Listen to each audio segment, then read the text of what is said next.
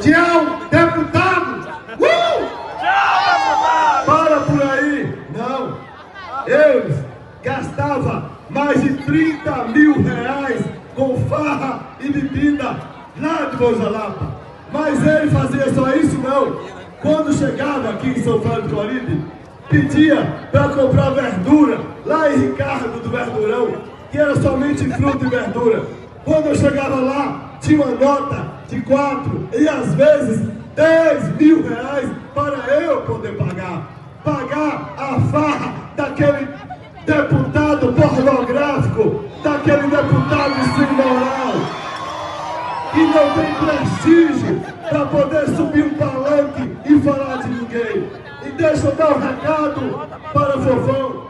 Fofão, muito cuidado com quem você anda. Você também tem um rabo preso. Você usou, você usou o nome de uma clínica em Barreiras para arrecadar recursos para a sua empresa. E o processo está em andamento. Eu te falo mais uma coisa. Eu também tenho alguns amigos que me disseram que tem outra investigação correndo aí pelos cantos da Bahia por superfaturamento de equipamentos oftalmológicos e outros materiais diversos. Mas Ito, conta também, quando você era prefeito, o que o deputadinho de merda fazia lá em Serra do Ramalho. Chepa, a barra não era só em São Félix, em Bom Jesus da Lapa. Quando ele chegava em Serra do Ramalho, a desculpa era a mesma.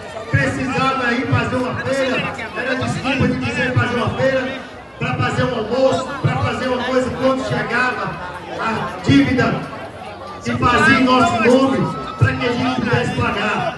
Quando chegava, era dívida de 5, já chegou dívida até de 10 mil reais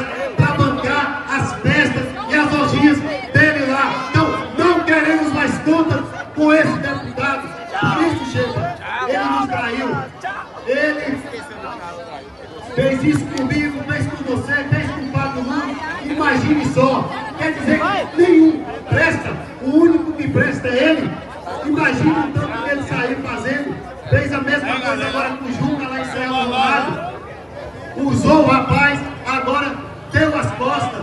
Do mesmo jeito, fez com quem votou para ele, para deputado, que está tentando voltar para a prefeitura da Lapa. Esse é o histórico dele, o histórico de querer poder. Nós vamos dar a resposta para ele aqui em São Félix, em Serra do Ramalho, em Bom Jesus da Lapa. E não queremos mais ele